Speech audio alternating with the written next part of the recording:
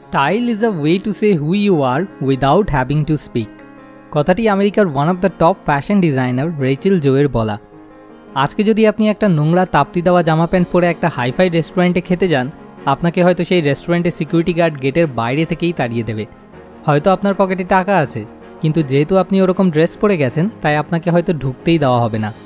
তো এটা ঠিক না ভুল, আমি সেই তর্কে যাচ্ছি না।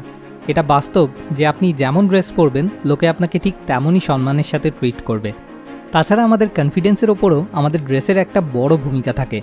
আপনি কোনো পার্টিতে, যেখানে হয়তো সবাই ওয়েল ড্রেসড হয়ে এসছে, সেখানে যদি নর্মাল ক্যাজুয়াল জামাকাপড় পরে চলে যান, তবে স্বাভাবিক আপনি লেস কনফিডেন্ট ফিল করবেন। আর তাছাড়া একটা সুন্দর গার্লফ্রেন্ড বা বয়ফ্রেন্ড জোগাড় করতে হলেও কিন্তু ভালো ড্রেসিং সেন্স থাকাটা ভীষণই ইম্পর্ট্যান্ট এবার অনেকে হয়তো বলতে পারে তাহলে কি আপনি বলতে চাইছেন মানুষকে তার মন দেখে না বরং ড্রেস দেখে জাজ করা উচিত? আমি কি বলছি সেটা ইম্পর্টেন্ট না। ফ্যাক্ট হলো এটাই, বাস্তবে ফার্স্ট ইমপ্রেশনের ক্ষেত্রে সবাই আপনাকে আপনার ড্রেস দেখেই অনেকখানি জাজ করবে। আর ফার্স্ট ইমপ্রেশনটা যে কতটা ইম্পর্ট্যান্ট তা আমরা সবাই জানি। তো আজকের এই ভিডিওতে কীভাবে নিজের ড্রেসিং সেন্স ইমপ্রুভ করা যায়, সেই বিষয়ে আমরা কিছু টিপস অ্যান্ড ট্রিক্স নিয়ে আলোচনা করব। তো চলুন শুরু করা যাক। Smart idea number one right colour combination আপনার ড্রেসিং সেন্সের অনেকখানি ধরা পড়ে আপনার ড্রেসের কালার কম্বিনেশন দেখে। এবার প্রশ্নটা হলো, আপনি কীভাবে বুঝবেন কোন কালার কম্বিনেশনটা ক্লাসি আর কোনটা না? এই ছবিটিতে ছেলেদের জন্য কিছু ক্লাসি কালার কম্বিনেশন দেখানো হয়েছে, যেমন হোয়াইট শার্ট, ব্ল্যাক প্যান্ট আর তার সাথে হোয়াইট শু বা ব্লু শার্ট, ব্ল্যাক প্যান্টস আর তার সাথে ব্ল্যাক শু এছাড়া আপনি গুগল সার্চ করেও আরও অনেক রাইট কালার কম্বিনেশনের ব্যাপারে ইচ্ছা করলেই জানতে পারবেন। Smart idea number two, well fittings. জামা কাপড় তখনই ফিটিংস হবে যখন আপনার বডি শেপ ফিট থাকবে। তার জন্য আপনাকে সবার আগে নিজের ফিগারটাকে শেপে আনতে হবে।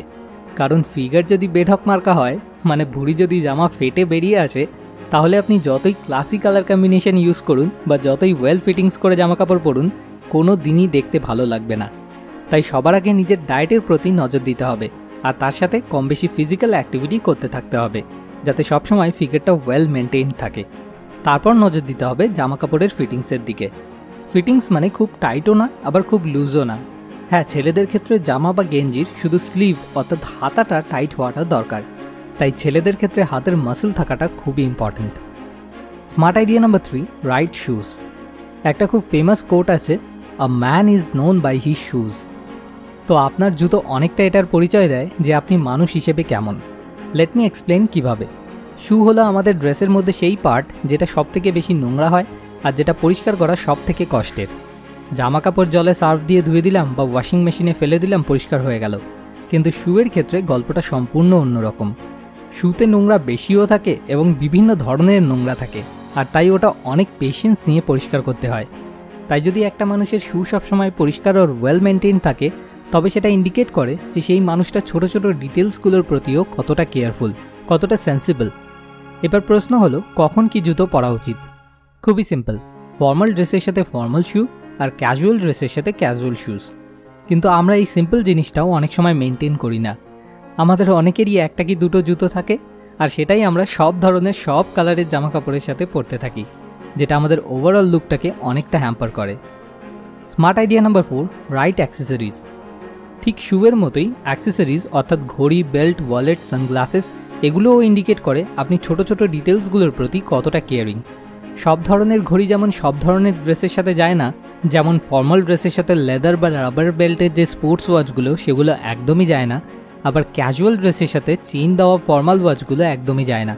তারপর যেমন ধরুন আপনার বেল্টের কালার সবসময় আপনার জুতোর কালারের সাথে ম্যাচ হওয়া উচিত, যদি আপনি একটা ক্লাসি লুক চান। আপনার ওয়ালেটটা যেন ছেঁড়া বা নোংরা বা দোমড়ানো মোচড়ানো না হয়। আপনি হয়তো এই ছোটোখাটো জিনিসগুলোকে গুরুত্ব দেন না। আপনার সামনের জন্য হয়তো গুরুত্ব দেয় না, কিন্তু সাবকনশিয়াসলি এগুলো সামনের জনের মনে ইমপ্রেশন ক্রিয়েট করার সময় এফেক্ট ফেলে। Smart idea number five wear it in the right way আপনি কি জানেন, আপনি আজ অবধি সারা জীবন ভুলভাবে জামার স্লিপ ফোল্ড করে আসছেন? ফুল স্লিপ শার্টগুলির ক্ষেত্রে স্লিপ ফোল্ড করার সঠিক পদ্ধতি হলো এটি। সবার প্রথমে স্লিভের কাফটিকে ফোল্ড করে কোনোই অবধি একবারে টেনে আনুন। তারপর কাফের নিচের পার্টটুকুকে আবার ফোল্ড করে কাফ পোর্শনটির অর্ধেক অবধি তুলে আনুন। এবং ফাইনালি এজিসগুলোকে হাত দিয়ে চেপে স্মুথ করে দিন।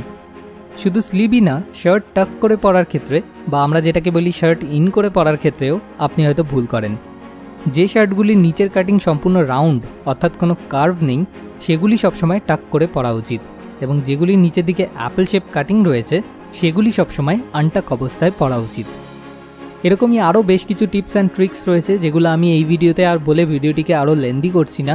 যদি আপনাদের ভিডিওটি ভালো লাগে, যদি ভিডিওটিতে প্রচুর লাইক আসে, তবে আমি এই ভিডিওটিরই সেকেন্ড পার্ট বানিয়ে আমার জানা ড্রেসিংয়ের উপর বাকি টিপস অ্যান্ড ট্রিক্সগুলো আপনাদের সাথে শেয়ার করব। এবার পালা লাস্ট উইক মোস্ট মোটিভেটিং কমেন্টের রিকিটা আপনাকে অনেক অনেক ধন্যবাদ। আমরা সবসময় চেষ্টা করব আপনি যেন অপেক্ষায় থেকে কখনো হতাশ না হন। আপনি এরপর কোন টপিকে ভিডিও দেখতে চান, সেটা নিচে কমেন্ট করে আমাদের জানান। কেননা আপনাকে সাহায্য করতে পারাটাই আমাদের আসল উদ্দেশ্য।